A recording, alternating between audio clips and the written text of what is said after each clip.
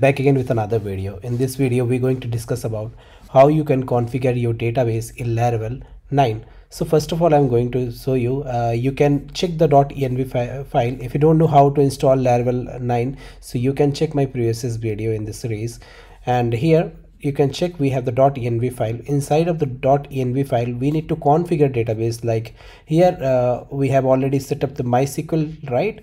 So you can check we have the host name and we have port. And here you can put your database whatever database you have right? Same for the host name here because i'm using the local machine. So that's why i'm putting my uh, local host url and if you're using the server or any other uh, site. So of course you need to put your host name here right?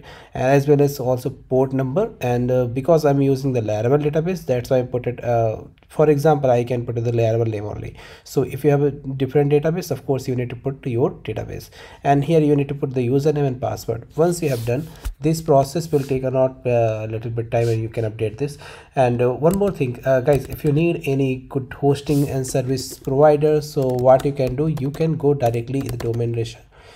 and inside the domainracer you can get a good uh, hosting plan as per your requirement. So i'm using because of this hosting from long time so that's why i'm sharing with uh, this feedback with you. And you can check out uh, whatever required for you like a hosting unit. So of course the really cheapest hosting you can check in the market like a basic and pers personal and professional. These are the different kind of plans.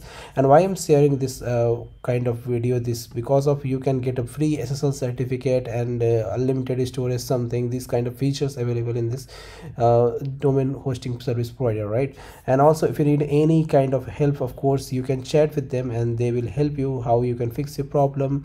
Uh, so this uh, the main reason i'm sharing with you this knowledge. And also if you need anything any help from my side to uh, anything right? So you can ask me in the descriptions area. Definitely i will create a different video and you can learn about the more things right?